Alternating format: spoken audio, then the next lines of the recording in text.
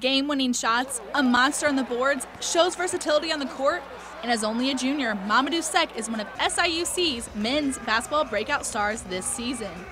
Coach Chris Lowery says he always had his eye on Seck and knew he would be a great asset to the team. He was our main priority in recruiting this year because we knew what he could bring to us with, with his energy and his work ethic. Are, are, there's some match, and that's why he's you know he's such a crowd favorite. Seck came to the States two years ago from Senegal. He first played basketball at Southeastern Illinois College in Harrisburg before transferring to SIUC.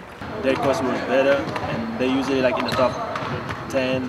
So that's one of the reasons like I went there. So. When his season was over at Southeastern, he decided to become a Saluki. Lowery says at first there was a slight issue with communication since Seck's first language is French.